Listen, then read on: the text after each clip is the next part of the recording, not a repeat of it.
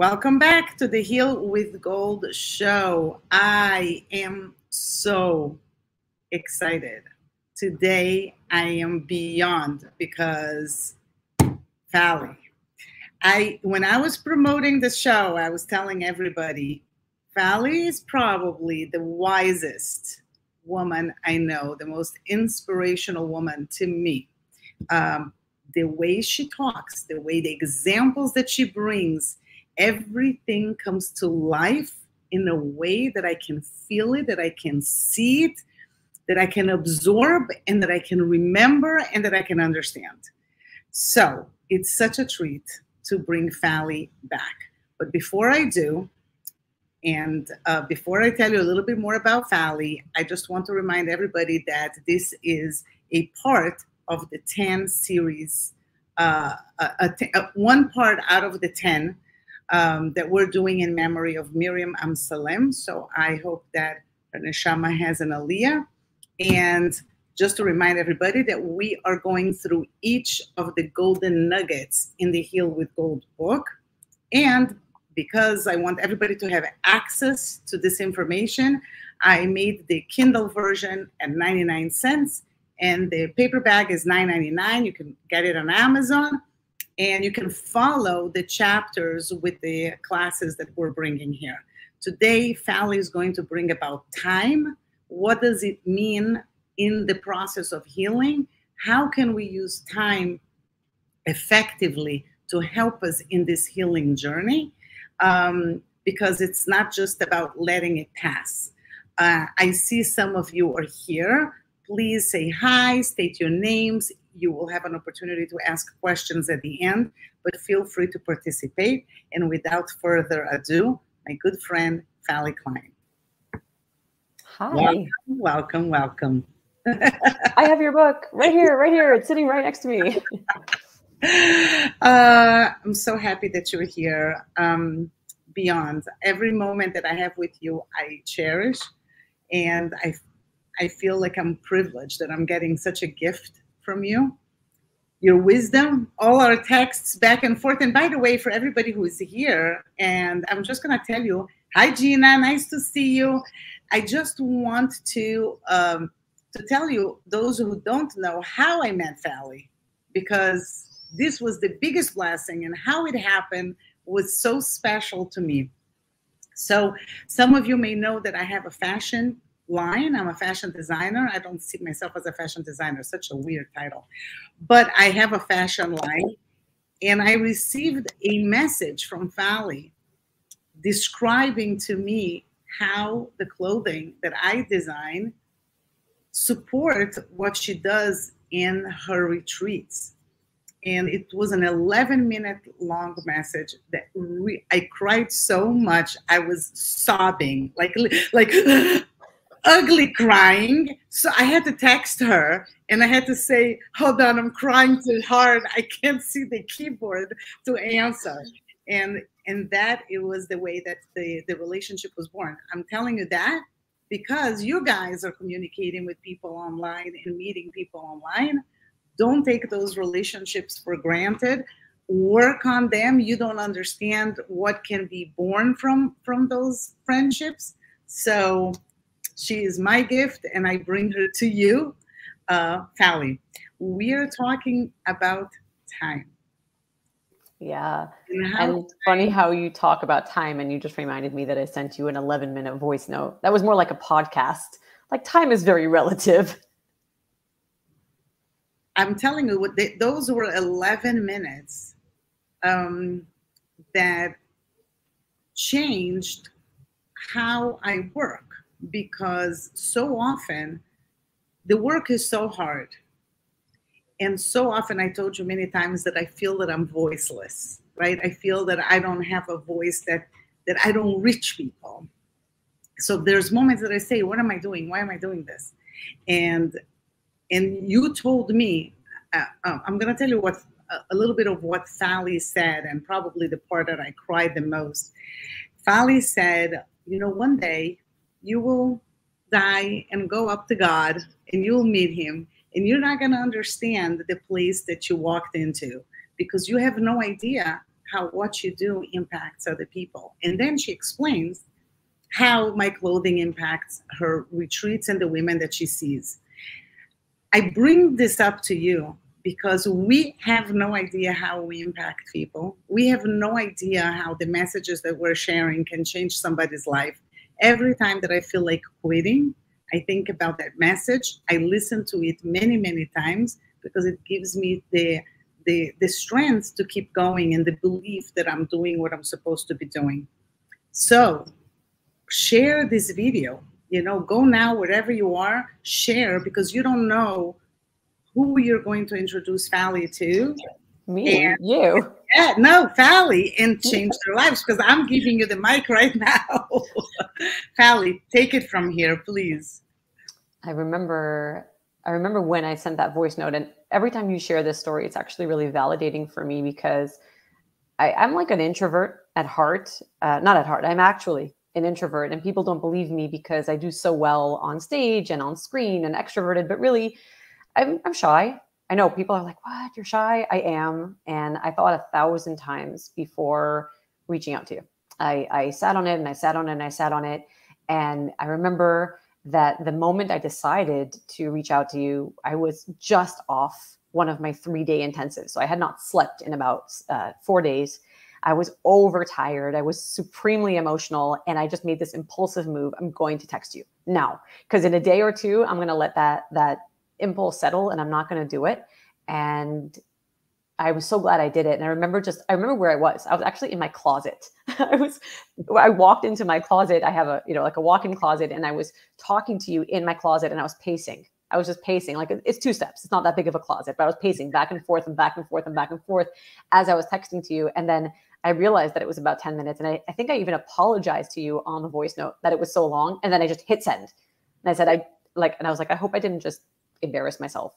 And, um, and it really taught me such a it's such a huge lesson. You you can't you can't do that enough you know? You can't um, compliment people enough acknowledge people enough and what's the worst that would have happened? So what? So you wouldn't have responded you wouldn't have you know? But I, I i learned such an important lesson and when some when someone pops into my head or i do get an urge to to reach out to someone check in on someone compliment someone ask someone how you're doing what does it cost you? Send a text. I don't even pick up the phone. It's not even a phone call. I don't even invest that much, but sending a text, um, and you really can change people people's lives that way.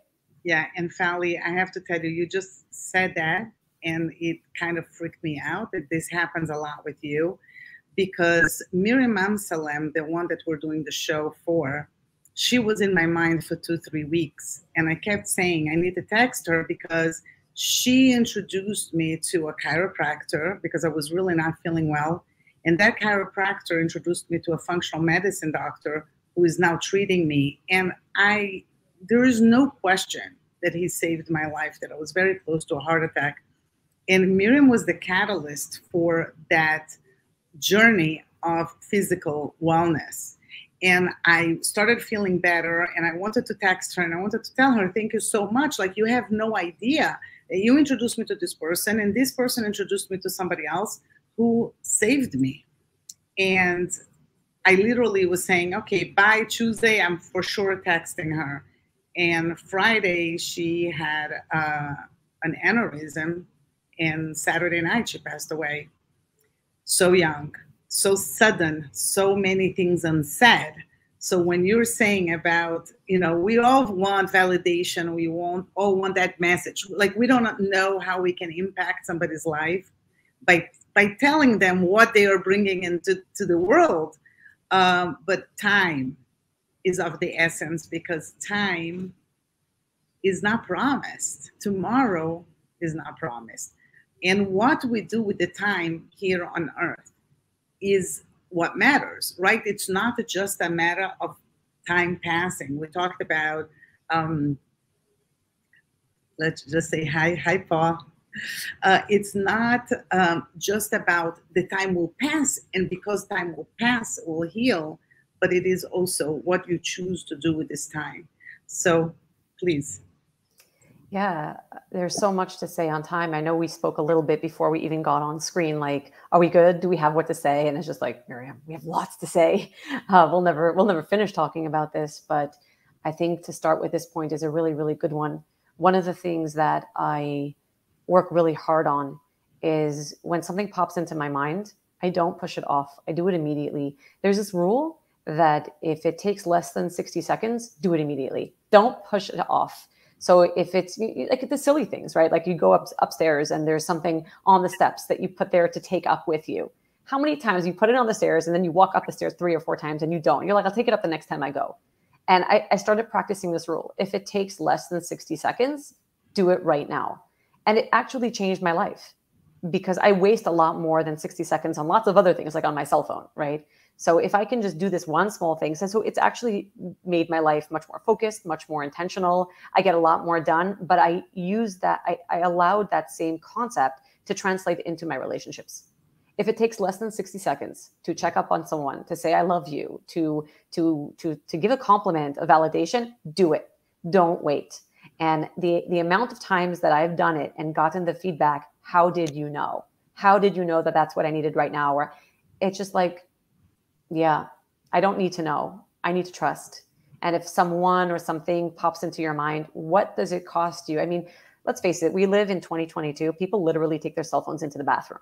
So send that text while you're on the toilet. Like instead of scrolling face, I, I know it sounds really coarse and callous to say on a live that people are going to be listening to, but let's face it, you're doing it anyway. So if you're taking your cell phone in, make that your designated time. Make that your designated time to think about someone or to reach out to somebody um, it, it, makes such a big difference. And there, there are a lot of wasted opportunities and a lot of wasted moments. Um, and really, now is the only moment we have. Exactly. When it comes to healing, you meet people left and right that are on a journey seeking healing, seeking peace, seeking mending of broken heart. Um, I talk a little bit about in my book uh, because the whole process of kintsugi clarified to me the process of healing. When I saw and I understood the art, I understood what it would take to heal my brokenness and therefore and then everybody's because I went on that quest and I interviewed so many people and everybody had implemented the same 10 things and the acceptance of time and knowing how to use their time was vital in their journey. An interesting story was that I was when I was searching about everything about kintsugi, I went when I saw the piece and I understood, you know, like I really connected with the visual. I started searching for a kintsugi master uh, in the U.S but I wanted a Japanese kintsugi master, like a real kintsugi master. And I found one. I found one in New York, and he gives a course, and it's once a week for a bunch of weeks. So I reached out to him and I said to him, "Can you can I come and stay with you two days, and we'll do the whole course, you know, intensive, but because I can't come once a week from Florida." And he smiled at me and he said, You don't understand. The time in between, it is vital for the process of kintsugi because you need the drying to be done a certain way for it to mend properly. And when he said that, I understood the part of doing a kintsugi piece that nothingness, that time that you just sit and wait and you just hope and you pray that all the work you did till now is going to stick and it's going to stay well. And then you're going to be able to continue with the process, continuing embellishing and adding the gold. And I understood that crucial time is and how we sometimes don't understand that period of patience and its validity. I think that everybody says, oh, time heals, you know, somebody loses somebody and then say, with time, you're going to feel better and with time. And what does that mean? Is it just the passing of the days? Do people expect that we're just going to forget what happened to us? And with distance of time, just the distance itself from the event that hurt us, we're going to be feeling better? I mean, everybody knows that our memory is is is strong. I mean, trauma, PTSD. Everybody knows that people that go through trauma, they will experience and feel that pain and hurt in all kinds of ways. It's going to affect their physical bodies in all kinds of ways. So, what are you doing with this time, and how are you using it for healing? Well, there's so much I I have been wanting to say. Like as you're talking, I'm like, I hope I remember everything. so the first thing I, I'm actually going to work a little backwards and um, when you said everyone knows that when it comes to trauma, I actually wanted to say, actually, that's um, not a given, you know, because today trauma is a word that people talk about a lot. Everybody has an opinion on it. Everyone seems to know something about trauma. And that was not always the case. In fact, it wasn't even the case five years ago. And it definitely wasn't the case 10 years ago. Today, you have 13 year old kids like my daughter who's like, oh my gosh, I'm traumatized. But, and, and of course, they're bastardizing the term, but, but I know that 12 years ago, we were dealing with something in our immediate family, and we were speaking to psychiatrists who were so quick to prescribe medication. And I kept insisting, no, I think there's an element of trauma here. And they wouldn't even listen to me. It was so quick to just go straight to chemi- you know, chemical interventions. Um, trauma wasn't even a, a, word that was so um, so rec- like recognized and accepted as it is today. And I'm so grateful when you can say everyone knows and there is this belief that everyone knows because I think, thank God, today everyone does really know or have some sort of understanding about trauma. So I'm, I'm grateful to hear you say that and just reflect on how far we've come as a society that today people do know about trauma in ways that they didn't really understand or um, integrate before. Um, but about time. So I think, I think the, the, the, the consensus about time is kind of what you mentioned that as time passes, right, our memories and and that's where people mainly um, focus on. Oh, when we say time is the healer, we think that it's the distance and the memories. And I have a little bit of a different, well, not a different, but an additional take to this because I don't think you need me to talk about the distance, right? Because the distance can also sometimes be an unhealthy thing because maybe sometimes we use time to just forget about things and that's not healing. That's that's suppression or repression and and that's that's um i don't know. I, I'm, I'm the word is at the tip of my tongue and i'm not i'm not uh i'm not there. That's that's an illusion. Mm-hmm. um i think where time really comes into play for me is nothing is an accident.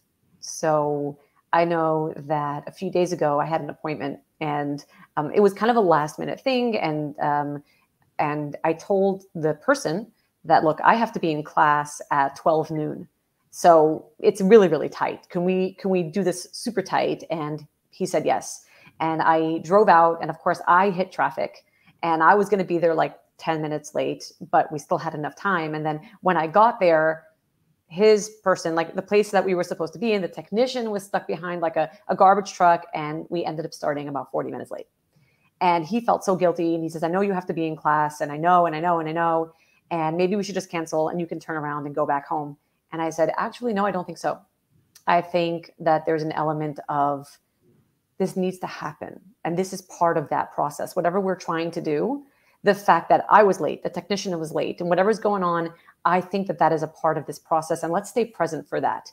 We will make sure that I get to my class when I need to get to my class. But from now until then, let's stay present and see what comes up. And it was such a magnificent experience, such a magnificent morning. The conversation that we had while waiting for the place to open, the where it led us, what we both gained from from our time together was so beautiful.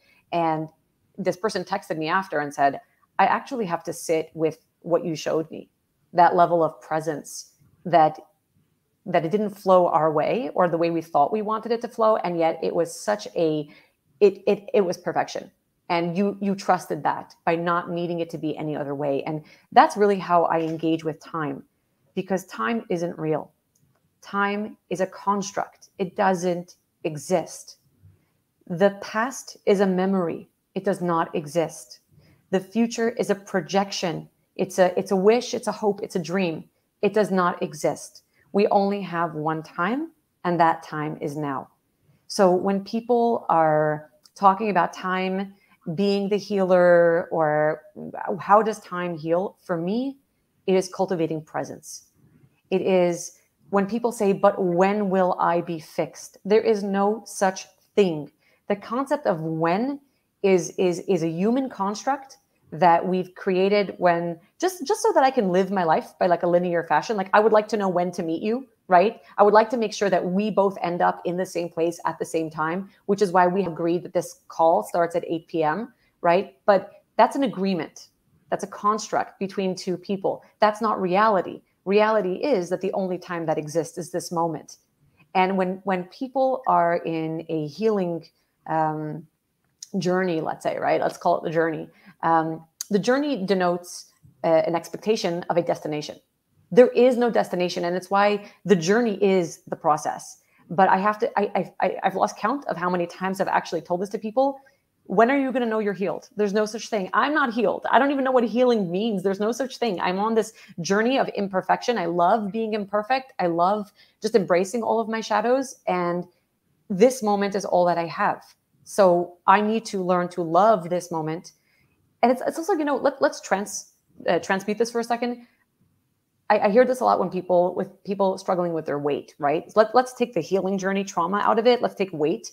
How many people say well i will love myself when i'm a size two. Until then i'm going to abuse my body uh, uh, like verbally abuse myself, mentally and emotionally abuse myself, starve myself, treat myself terribly, not buy myself anything pretty or any new clothing. I'm going to dress terribly but when I am a size two, that is when I'm going to start loving myself. And then they become that size two.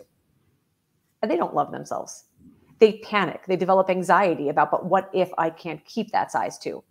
And it's just like, so what did you actually accomplish? You can't hate yourself into a version of yourself that you will love. And the same thing goes for healing. You can't you can't tell yourself that I'm going to put my life on hold until I feel the way I want to feel or look the way I want to look there is no life is only right now. So you no matter where you are in your journey, the, the concept of time for me is embrace this time. This is the only time you had. If you die tomorrow, can you make today the best possible day that there is, no matter where you're at in your journey?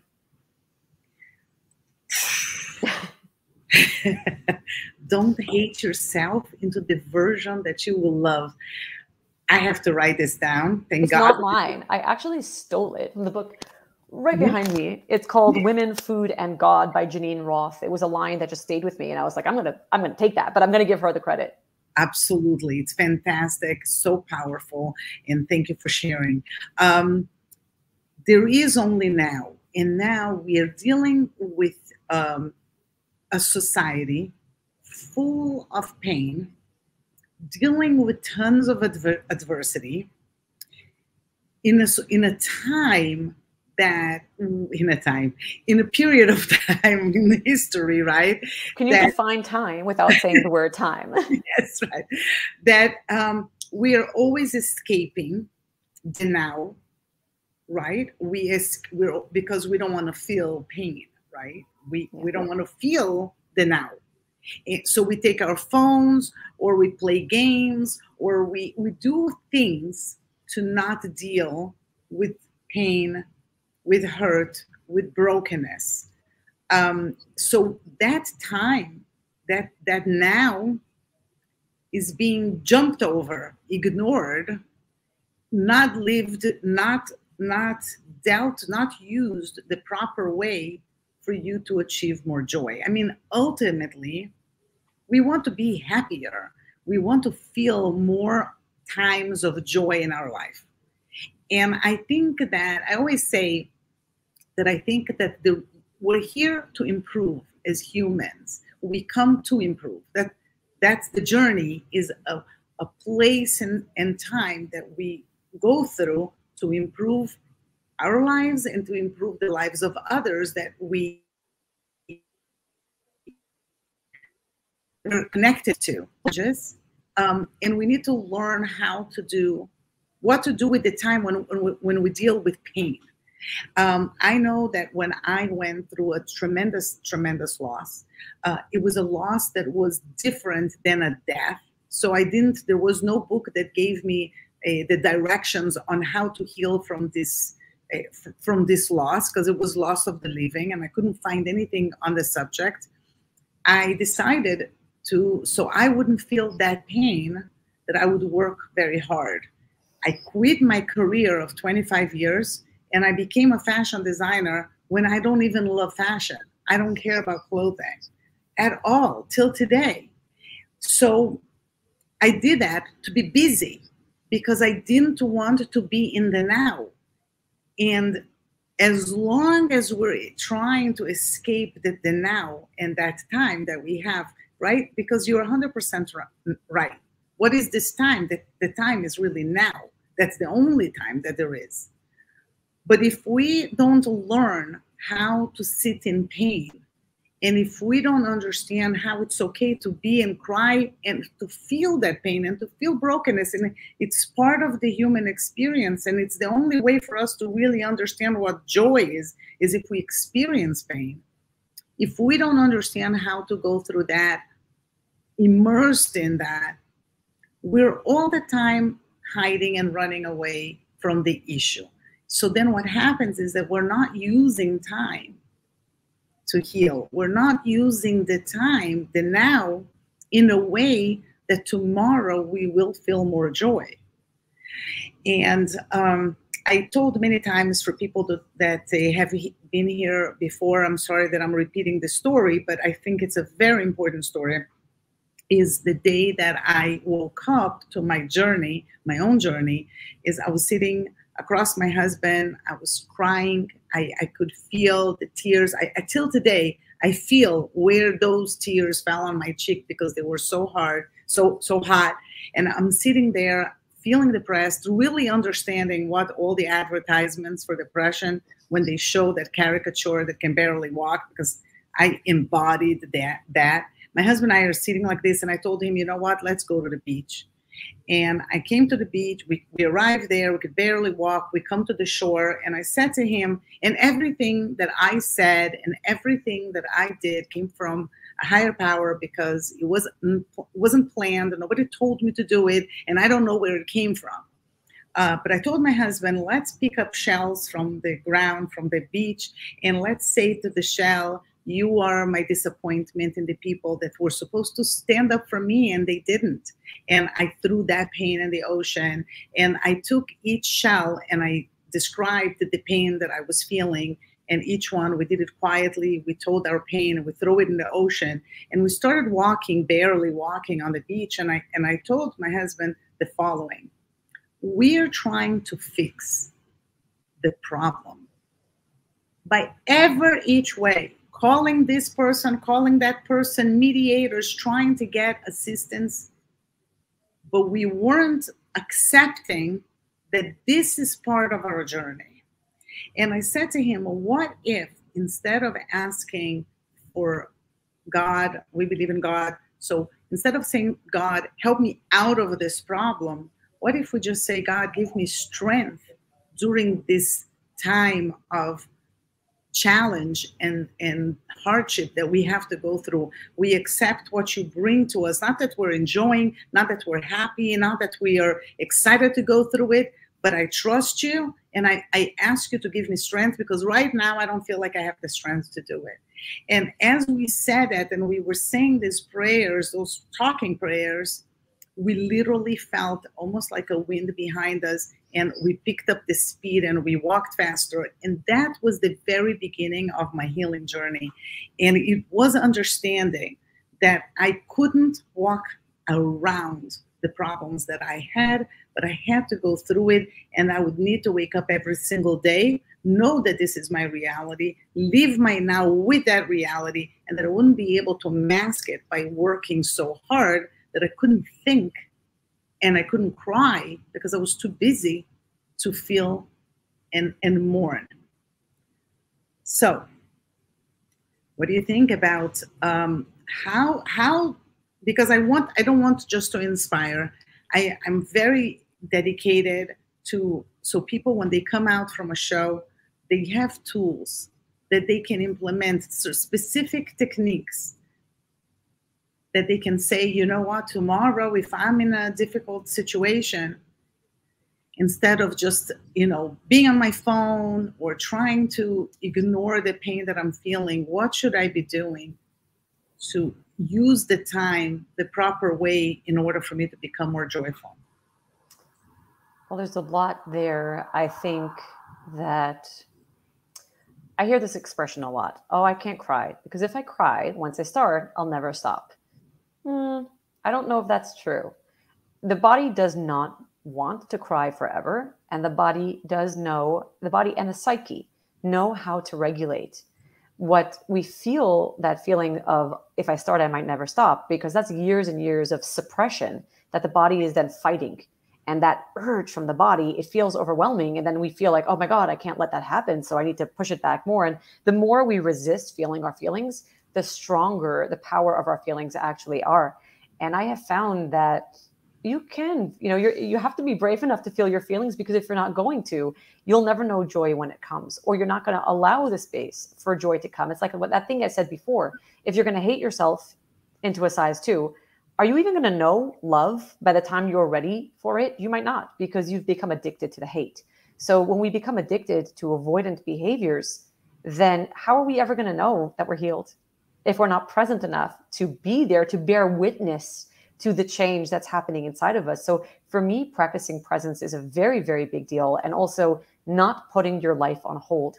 I, I find that people who go through, um, I don't want to say the word therapy as a generalization because I don't mean therapy. I mean this, that let's call it the healing journey, because it's a very new agey concept. As much as all of us are on a journey, I think that there are certain people who have made healing like their mission. And it's almost like there's nothing else for them other than that. And and what I find is is that as much as this is my life and as much as this is my work and and it's my joy and my love, I also have a husband. I also have children. I also watch TV. Like I, I, I love watching TV. Like I think it's actually good for your soul. It's probably it's like junk food for your mind, but it's also like good for you because you can't be busy with this all day in the negativity in the like there's a point where i just tell people throw away your journal just throw away your journal. You are not that important that you need to have every thought and every emotion and every like twist in your gut down on paper. No one's going to be reading it after you're dead. Honestly, are you sure people want should be reading this after you're dead? Like, do you really want this out there? So, I mean, and of course, I'm not hating on journaling. I'm a big journaler myself. Well, I'm not. I used to be, but I believe in journaling myself. Um, I I believe in taking the time for self reflection, but also then put that away and go live your life, whatever that means. Go to a park, go on a walk, have a coffee date with your friend. I mean, honestly, today I took my son out just before this call and we went to a toy store and I bought him a board game. And he's like, You're going to buy me a board game? Like, that's a lot of money. And I'm like, So what? We're going to sit and we're going to sit across the table from each other. We're going to look each other in the eye and we're going to play a board game. Otherwise, I'm going to be on my phone and you're going to be on my tablet and we are going to miss the light the life that we are having where i'm going to miss your entire childhood and you're going to miss me like this is something that we need to have we need to be living life it is so important so one of the when you talk about um, when you talk about practical tools so um, one of the practical tools tools that i love is just practice taking three deep breaths whenever you can and three deep breaths, I mean exclusively three deep breaths. Put your cell phone down. Do not be doing other things. If you're standing at the pump and you're doing nothing else, you're just waiting for your car to fill up, just take that time and count your breaths. Just watch your breath go in through your nose or through your mouth, whatever you prefer. No right or wrong way to do it. Watch it go down into your belly and then watch it leave. And just do that. You're at the pump. Practice being present at the pump if you watch people at the pump, all they're doing is texting or looking at their phones or talking on their phones. And it's just like, can you just be with your body for a couple of breaths? Most people can't. And if you can't be with a discomfort, I promise you, you will not recognize the joy when it comes. Um, the other thing that I tell people is the. I, and I, I just said this to, I, I just ran a workshop and I said it to the women on the workshop I mean, you probably know this because you record videos, right? And then you upload them. So you work so hard to get your your content together. First, first you write your script for your video, right? And you and you think about the content and you and you produce it and you make sure you look pretty on screen and you put on your makeup or whatever it is. And then you're sitting on the screen and you've got the video. Then you maybe even edit it. And then you upload it. And then you watch that upload time and it says uploading percentage percentage, percentage, percentage. And then finally you're at like 94%. And from 94 to 99, take like 30 minutes. Like that takes longer than the whole video itself, right? And then it's uploaded. And then it's buffering. And you're like, are you serious? So you wait out the buffering and you're finally ready because the buffering's finished and you're ready to hit play on that video. And then it says, cannot play video because processing. And you're like, are you serious? And, and, and you're just, and at a certain point, you have to get up and walk away from your computer. Just go do something else, wash the dishes, take a walk, I don't know, have a bite to eat. Let the processing happen when you're not there. And then half an hour later, you walk back to your computer, and guess what? That video is live and it's ready to go. And I tell people this all the time healing is not linear. And most of healing happens behind the scenes, and you're not aware of that. It's some, there, there are things you can do. You can go to therapy, you can do different kinds of facilitations whether it's breath work or somatic work or hypnosis or there's so many awesome modalities out there. But what i see is people jumping from modality to modality to modality and there's no integration time and there is no processing time. And the processing is something that actually happens in the background. It happens when you walk away from your computer. You have no control over that and that's what people don't have a hard time accepting. You actually have very little control over that part of your healing. Like you can step forward, there's a lot you can do, but then there's a lot you can't do. You have to allow for it to happen. And that's the part of healing that is not the doing part, but it's the being part. And that's where time comes in. You need to learn to be with that process because there's nothing you can do anymore. Right. And another thing that's really important is understanding that there is no set amount of time for a specific thing to heal or for you to feel better or for you to achieve a, a, a sense of joy. For each person is different. There is no you, you can't there's no one that knows that can tell you in three days you're going to be healed. Uh, it's the type of thing that you need to trust surrender the process be in the moment. Um, and i always say like that it's so interesting when you see the whole um, uh, science behind creating habits and making sure that they stick, right? If you want to implement a new habit, you know that you have to do it consistently for a, a specific amount of time. There is arguments. I say go with 40, right? Stay for a long period of time because you need to, it takes a lot of effort and your brain to adjust for that to become a habit. A habit is something that you do it already without thinking, right? It becomes part of the your, the fiber of your being. Um, like somebody that drives home and doesn't realize that he arrived at home. The brain, there's part of the brain that it's processing on its own. You don't even realize that it's doing because it's so used to take that path. When, have, when, when you wake up in the morning and you don't think three times that you need to brush your teeth, it's just a habit. You, you don't need, oh, did I brush my teeth? For sure I brushed my teeth. Like I don't have to think about it because it's a habit. When somebody wants to start implementing good habits in their lives, there's a whole science behind it. And you have to keep repeating and keep repeating and doing it and doing it and just wait until this really sticks. And if you are all the time, did it stick? Did it become a habit? Did it? No. Should I can I should I stop today and see and check if it was already part of my being or if it's forced? You can't do that. You have to trust the process, keep going until the day that it is going to become part of who you are, really, that, that it is ingrained in you. And I think that um, for me, a lot of what helped in my journey was choosing specific new habits that would allow me to be present in the moment. Having a morning routine, having that my cup of coffee, that I go outside during that time. I talk to God. I looked, I watch my butterflies. You know, I, I, I am grateful. I, I say out loud or a journal if I want to, the things that I'm grateful for. And I do the things that I do. And you have to do it consistently until it's obviously you don't even feel that, that you're doing because it is part of who you are and you're not going to stop it even if you're on vacation um, the same time the commitment to the time the commitment to not not give it a deadline but just say it's going to happen because I'm I'm committed to feeling more joy. So I'm implementing things in my life that are going to bring me joy and then just go with the flow. Yeah. And um, I see someone actually asked in the comments a really good question. How do people know that they should stop thinking uh, that they should, that they still need healing? It is. And that's when I got a lot because when you talk about this healing journey and then there's this implication, there's like this deadline, there, there isn't, you know, and then so people keep going on and on and they're jumping on and they keep jumping from, from, workshop to workshop or or, or practitioner or, or, or modality and and they're not they themselves are not even sure what they're looking for. And that's what i challenge people like how are you going to know that you found it? What is the it that you're looking for? And i, I don't have an answer but i know for myself and, and this does relate to the idea of time and presence um, for me the the answer is the word yes. That whatever happens can i say yes to that can I live a life in full flow without resistance?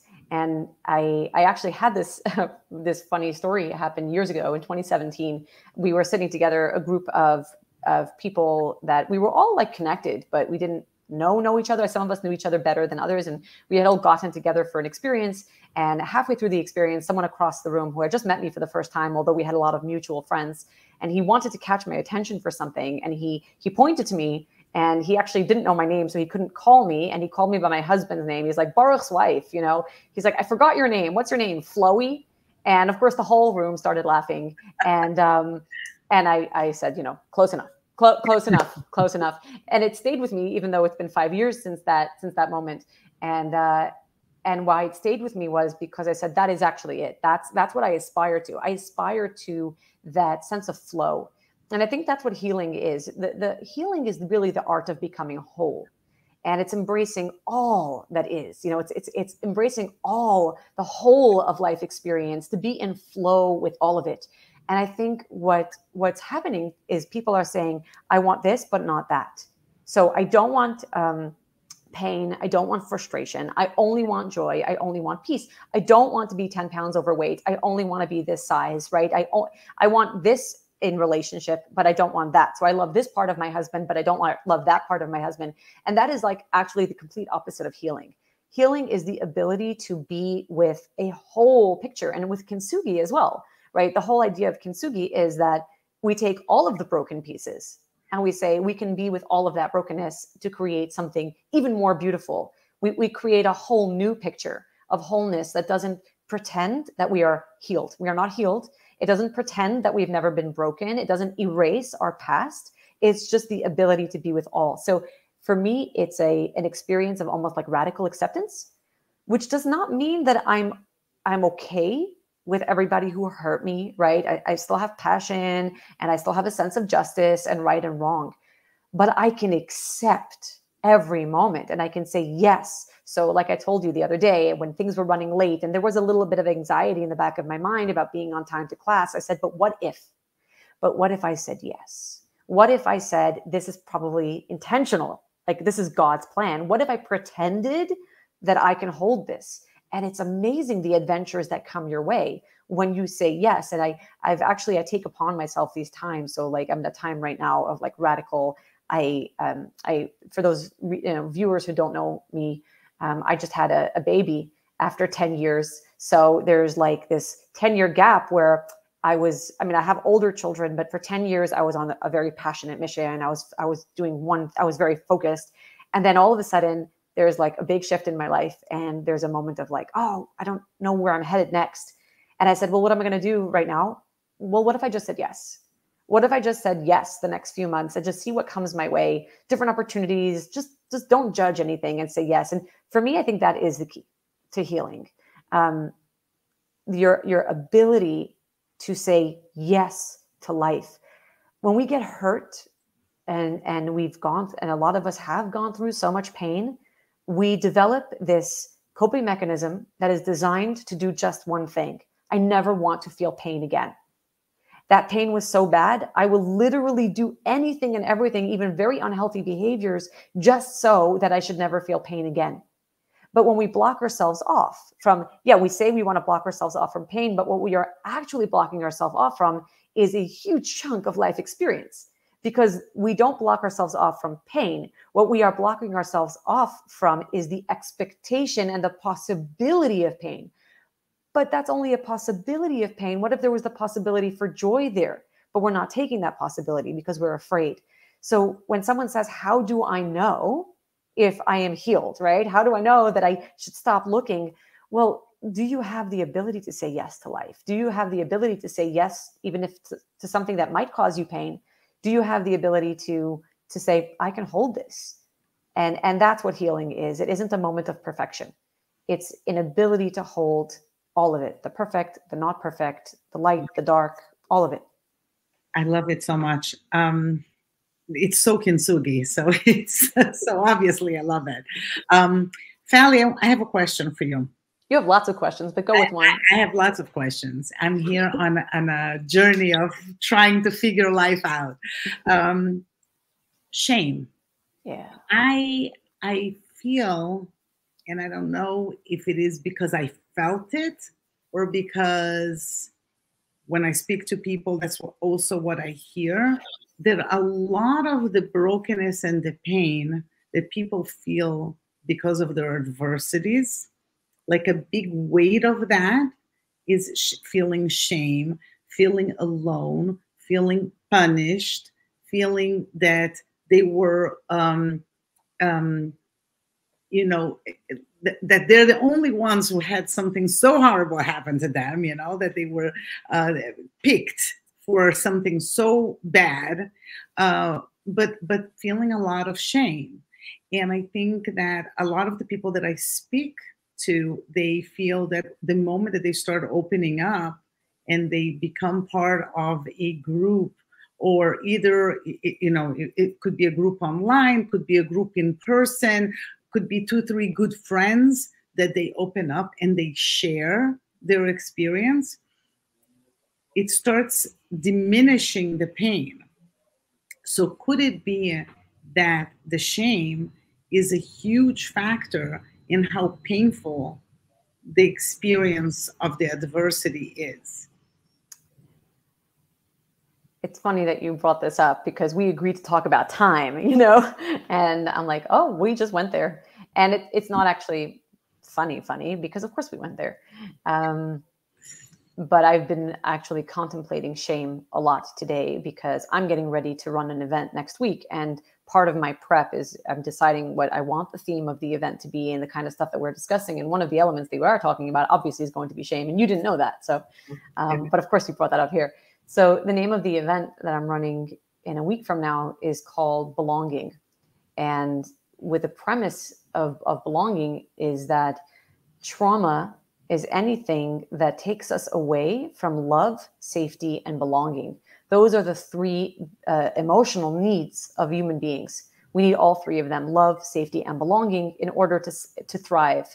And if you think about if, you know, whatever trauma you experienced, it took you away um, from one or all of the all of them, or it it it it gave you the perception of being taken away, whether or not that was true, but you perceived being separate from love, safety, and or belonging. So I really took a deep dive into what is belonging because a lot of people talk about love. Uh, everyone seems to have an idea about love and what it means and how it feels and and and what's good love and what's bad love and codependent love and, and all of that.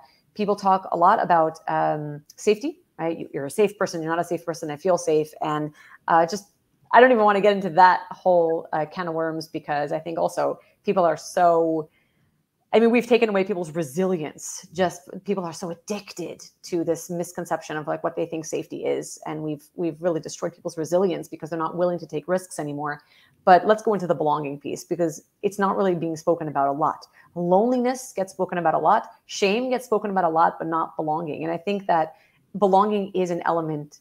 It's a foundational element for healing trauma, um, and shame is it keeps us from that but in order to really understand shame, you have to understand what its opposite is, is belonging. And people tend to think that belonging is passive, that I need to fit in, that there's a group and I need to be accepted by the group.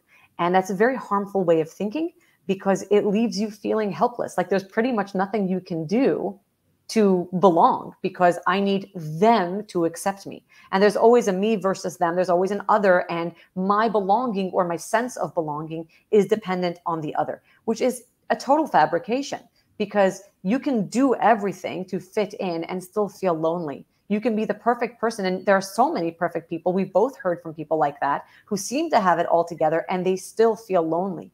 So, what is the belonging piece and how does it really connect with shame? So if you look in in grammar in, in the English language, most of the words that start with be, like like the be, the prefix, are verbs, right? Like to bequeath or to bestow is something that you do to another person. So to belong is an action. It's a verb. It's something that you do to others. It's not something that you passively wait for others to do to you. So we tend to think that there's a group and the group needs to accept us when really belonging is that I need to belong myself to a group. I need to walk over to the group and I need to say, hey, this is who I am and this is what I can contribute. In order to do that, you need to be different. You need to be unique. Because if you were the same as everybody else, what would actually entice a group to belong you?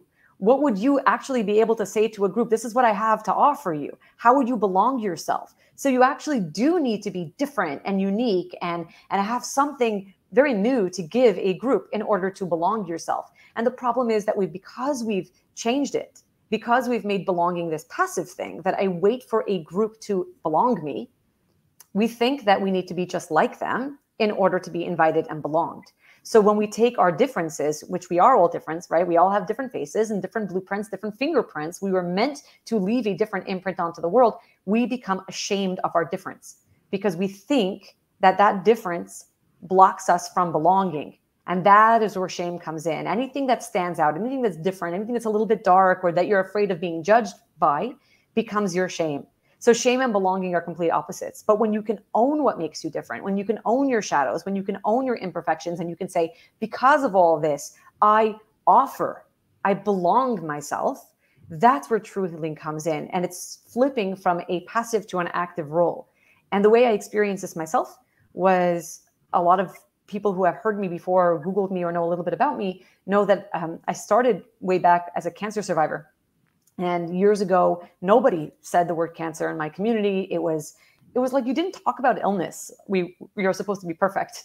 And um, I was like, that doesn't work for me. I'm a, I'm, I'm, I don't know. I'm like a big mouth. I just, I just don't do that stuff well. And, and I just, I just believe in honesty and I believe in integrity. And I, and I kind of was like, it's not something that I did to myself. I didn't ask to have cancer. God gave it to me. So, and I believe in God. I think God's awesome. And I think his plan is awesome. So let's just get with the program. And I kept a diary at the time. It's actually, where is it? it should be sitting right here, somewhere right here. I kept a diary at the time. I'm going to grab it for you. Um, and I turned it into a book. It's called Miracle Ride. There it is, right there. Um, like the screen is flipped. I'm like, which way should I be putting it? And uh, I wrote, I wrote my my experiences in a diary that later became a, a. I didn't intend for it to be a published book, but it became a published book and it just this year went into its seventh printing. And it's it's about 13 years old went into its seventh printing which is and by the way for those people who want to already google the book it's not written under my name. I did write it under a pen name. Where's the camera? Right there. It's written under Tzipi Caton. Um, when i was younger i thought it would be cool to have a pen name. I didn't i, I don't anymore but that's mm-hmm. you would find it under that. And i also did this. Um, this is not published. One day maybe i will. This was uh, the scrapbook am I like on screen? I don't know. This is a scrapbook that my mom made. We took pictures of everything that I had been through. There we go. Um, everything that I had been through. Let me show you my favorite picture in the entire book. Hold on. I have to find this. Well, this is one of my favorite pictures. This is me getting a blood transfusion right there. Oh, And uh, I was posing with my blood. But there's an even better picture of when I shaved my head it's my favorite picture. And I feel like I do need to show this on screen because that's the one that people are going to be talking about. Um, there it is. This is my chemo cut when we shaved my head. And we took pictures about of, of everything. And one of the reasons that this book went into seven printings was because I had no shame in being me and saying, This is my story and this is what I learned. And this is how I can belong myself to the world. This is the gift. If I can eliminate my shame, if I can just get over my because shame is ego. Shame is what shame is your own ego trying to protect you from the from the pain of not belonging. But it's a myth, it's a fabrication that was designed by your own subconscious. And if you can tell your shame, I get you. I get you're trying to protect you, protect me. But I have my own way of doing something and I'm going to use my my weirdness, my uniqueness, my story to belong myself to a community, to a world that can use what I have to offer, well, my book just went into seven printings. That's what the world was waiting for. And I am not the only person who went through cancer. I am not the only person who had a story, but maybe I'm the only person, or at the time, that felt confident enough sharing my story. So that's, I feel, the, the role that shame plays. Um, we like to blame the outside world for shaming us. But again, we internalize that very, very well. The outside world does a lot of things and you can decide to be a victim to what the outside world did to you or you can choose to see your own role in that. Do you believe in your shame? Do you believe the stories that your shame feeds you? And most of us do because it helps us to believe in our shame because it protects us from having to feel that hurt. But how long are you going to believe the story of your shame? How long are you going to let your shame keep you in a little box when if you if you step out of that shame even a tiny bit just let your voice be heard even a tiny bit. I mean, you and I see. I, I got past my ego, I got past my shame and my shyness to text you. And look where we're at right now. Changing the world. Yeah. One conversation at a time. Exactly. Uh, I think that, first of all, you blew me away with this whole explanation. It made it so clear to me this whole idea of belonging, how you said it, really this was a good practice for your next week. It was a good practice for my next week.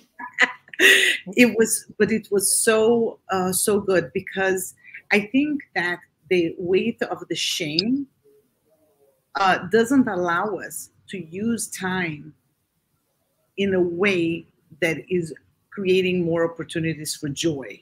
Because you're sitting in your sorrow you know imagining most of the time is imagining what other people are, would think about you. It's nothing is reality. And i also noticed that yes sometimes people even say things. People some people do judge. They judge for three seconds they move on to judge somebody else. Like no story is that great that stays on people's you know tip of their tongue for too long. Um, but we stay in that shame for a huge amount of time. But if we had the guts to come out and ask for help, share what you experience, share the process like you did with your book, first of all, the, the most important thing that's going to happen is that you're going to help somebody else going through the exact same thing. And now you're going to take that pain, that that brokenness, and that devast- devastation, and you're going to make it into kindness, and that in itself uh, is so healing. Yes, and I think that our inability to be with shame is that we have um, become addicted to this illusion of perfection. Now, um, I know, you know, I grew up religious, as you can tell. I, I am religious. I'm married to a rabbi. We you know, I grew up with all the Torah uh, stories and concepts, and and I use them as my role models. And Torah is full of really embarrassing stories, and they mince no words. They have a lot of role models that have been through some pretty pretty shameful encounters. And here we are, thousands of years later, taking these very human people who have, you know, misstepped and and and done some some terrible things, and we study them and we talk about them and there's a reason why our every major religion, I mean, I'm, I'm only speaking for Judaism because that's where I grew up, but every major religion has key archetypes that have dealt with um, discrepancies and, and, and, and, and, and these kinds of uh, crossing lines and, and, and, and sins and whatever kind of behaviors. And, and our religions do not shy away from talking about these things because that's what make us human humanity is full of flaws and imperfections and and shadows and and darkness and even evil. Like we're, we're full of that right? So so our shame really binds us to this illusion of perfection. And perfection is is literally poison when it comes to healing. Because healing is about wholeness. It is not about perfection. I am not a perfect person. I don't pretend to be a perfect person. There was a time where I probably hoped, not I probably, I did hope that when I died, everybody in the world would have nice things to say about me. And um, quite a lot has a water have, has passed under the bridge since then. And I have come to learn that there are probably, there not are probably, there are lots of people who have never even met me who dislike me. They don't like the shape of my face. They don't like my nose. They don't like the sound of my voice. They don't like what I have to say. They don't believe in what I have to say. They have already judged things that I have had to it and it's like I don't even know those people and they don't know me either. And then, you know, and then there are people who hate me only because I can't give them what they want. And it's like, what am I going to live my entire life? Like, what attached to an illusion of perfection? It's not possible. It is not possible. And you know, it's it's just like the minute I I was able to free myself from that illusion of needing to be perfect, I was healed. okay, I'm not there yet. I'm still, I'm, a, I'm like I say, a recovering people pleaser. But all of a sudden, I had so much more energy to actually do what I wanted, to to actually pursue my own joy instead of just the voices in my head. And and um, Brad Reedy, one of my favorite authors, he has a book called The Audacity to Be You. Is that also right behind me? It's a yellow book. I think I don't know. Is it that one? I don't know. Um, he says, "What other people think about you is none of your business." And to me, that was the antidote to shame. What other people think about you is none of your business. But this moment belongs to you, and this moment is your business. Don't let other people affect your moment. And, and whether they're in front of you or just in your head. And shame is allowing other people to affect your moment and, and your space and time. So I'm not I'm not perfect at this by far. I, I have a lot of work to do on myself. Um, but this is the one concept or one of the concepts that I'm really taking very seriously and working with continuously. I don't let other people's um, judgments or even my judgments on myself. I try not to let that get in the way of living the life I want to live. Incredible, Fally. We're I could talk to you for a million. You're going to do that thing again, right? Where you where you trap me on live and get me to agree to come on another one. Well. okay, so that's a yes, I guess. It's a it's a I got you before you could get me. yes, exactly. but I wanted to ask you just one thing before we close because I want to leave everybody with um, with some with, with homework because I think that I want people to listen to this now and whenever it is, you know, over 1,300 people watched your previous show only on YouTube. Your, your, show is also on Facebook. I didn't see how many views there were there, but I'm assuming by by now 2,000 people watched that one show. So let's hope that 4,000 people at least are going to see this one. And I ask everybody to share it. But I want people to leave this show with with. I want them to, to close the, the, the computer and before they go into whatever it is that they have to do into their lives, I want them to stop for five minutes and think about how they're going to use their time there now in a way that can get, get them closer to feeling joyful. And I, I want to emphasize something that you said because I thought it's so simple and, and yet so great that you said, I also watch TV. You know, I also watch TV and I, I want people that are too preoccupied with healing that you can never um, get there if you're all the time checking right? It happens some the result comes like you said with the video right? You, you upload the video when you go to the kitchen that's when when it's there. So you don't have to be too preoccupied with the with the healing process. You need to cry when you need to and feel the pain and, and be in the moment, in the pain and in the joy and be there. You can distract yourself as long as it's in a healthy way. Consciously, like consciously distract yourself. Exactly. Um, but but you know, do take a few minutes to see what you can implement that is quick that you can do in, in your day, like the breathing yeah. Like like saying, you know, I'll tell you one thing that I do when I'm feeling a little bit anxious when I when I'm trying to fall asleep and it's like I don't know, the demons come out. You know, that I'm so tired, I'm exhausted, it's so late, my head is like tonight I'm gonna fall asleep in three seconds. I close my eyes and it's like 150 million things come. Did you do that? You didn't do that? Well, you have to do this. Don't forget that. And that person pissed you off and this person. And, and last week i had elisa beulah we talked about forgiveness and she said you know all the people that you dislike you're sleeping with them in your bed and suddenly i'm thinking i'm i'm this traitor. I have a hundred people in my no i don't i don't dislike a hundred people but i do. one is too much right I just but, like lots of people. like, let's not pretend that I'm all light and love. I'm not. I'm light and love and a lot of shadows. but one thing that I do that helps me is I start counting not sheep. I start counting blessings. I came to the conclusion, and forgive me for saying that, but the, the devil doesn't like when I do that. And when I start doing that, like when I go to number eight, I'm falling asleep. you okay, okay, be quiet. I don't want to hear all the good things that happen to you. And I, I really look for the tiniest things. I don't say thank you for that I'm walking, thank you that I'm talking. No, I say for the smallest, tiniest things because I search throughout the day for the blessings because I know that at night when I can't fall asleep, so I have material to be able to say those things. And I have to have a lot because God knows when I'm going to fall asleep. So I have to have this whole list of, of blessings that are sprinkled throughout, throughout my life. And I think that if we use our time instead of dealing in the shame and reliving and imagining things that are un that aren't true that didn't happen. And, but imagining things and start fabricating stories. This could happen and that would happen and this would happen and they would hate me. Instead switch the tone to start saying you know what? My husband brought me a cup of coffee. I didn't even ask for it. That was so sweet.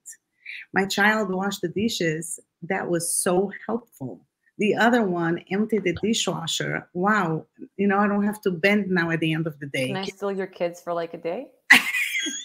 My kids are still at the point where they're leaving socks on the floor.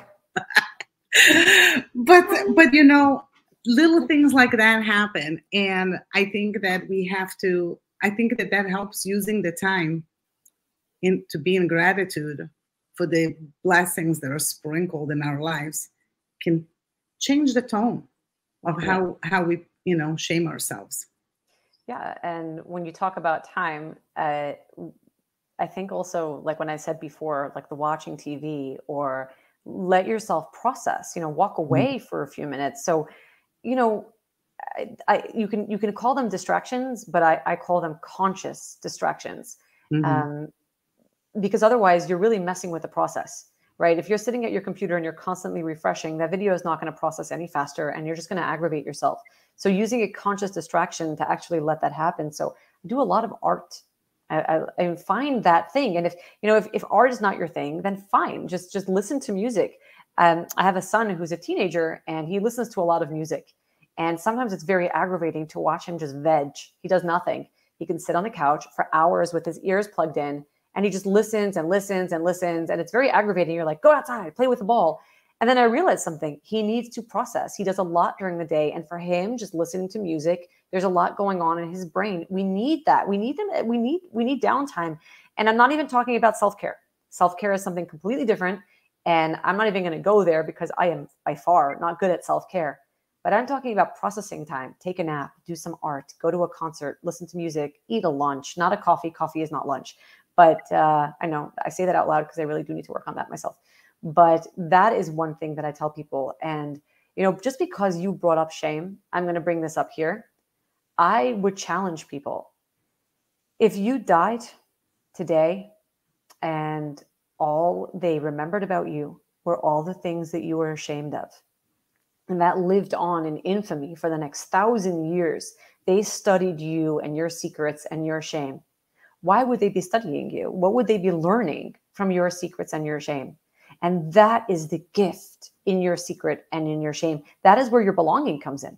That's where your healing th- comes in. What you what you are so ashamed of, what you are so afraid people are going to find out about you, that is actually the lesson. That is actually the gift that you can bring the world. And nobody says that you have to go stand on the rooftops naked and just go expose yourself in front of everybody. But at least be brave enough to look your own shame in the eye. You don't have to talk about it with anybody else. But if you can stop hiding from yourself and say, well, what if my shame was my gift? What did I learn from this experience? And what would, you know, like if, if you were a biblical character and they were learning from you in a thousand years and your and, and, and your discrepancies, what would they be learning? So take that and make that your gift to the world and and it's going to change the way you interact. It's going to it's going to change your your your fears. You know instead of fearing making mistakes you'll just make a lot more mistakes because you'll realize that that's where life experience comes from and that's where the learning and that's where the blessings are. I don't love making mistakes don't get me wrong. It's not like i'm addicted to my shameful behaviors um, but it's something i tell myself and it's something that helps me um, uh, and, and allows me to engage in life instead of hiding from it. And and, and yes and, and and bringing it back to the time thing it allows me to be present. I think shame also takes us away from presence. It doesn't only take us away from actions. It's my husband spends a lot of time doing silence retreats. He tries to do one every year. It's a 10 day silence retreat. Uh, and um, he says the first three days are the hardest because the first three days where you can't run, what are you really sitting with? Your, your shame, your, your secrets, your fears. And uh, most people can't even survive the first three days. But if you can be with that, if you can be with yourself, if you can be present to everything within you, then beyond that is your gift. Beyond that is your light. And beyond that comes your ability to say yes to everything, to all of life. I can't add anything. Your voice needs to be the last ones heard. Everybody, thank you so much for being here.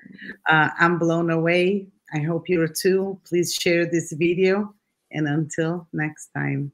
Thank you so much. Thank you.